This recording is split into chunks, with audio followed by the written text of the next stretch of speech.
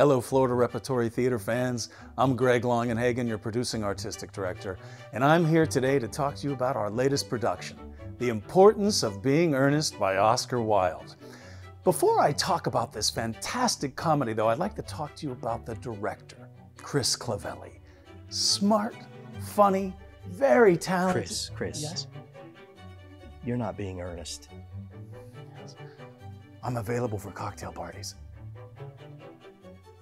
Ladies and gentlemen, if you want to see a whiz bang comedy, arguably one of the greatest comedies of all time, come on out to see Oscar Wilde's The Importance of Being Earnest at Florida Repertory Theater.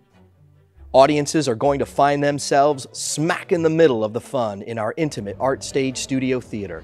The show stars ensemble member David Breitbarth, returning guest artists Chase Brackett, Carol Halstead, Jake Murphy, Jan Neuberger, Seth Robert Patterson, and newcomers Talley Gale, Ella Olesen, and Max Roll. The show is directed by my friend, Chris Clavelli.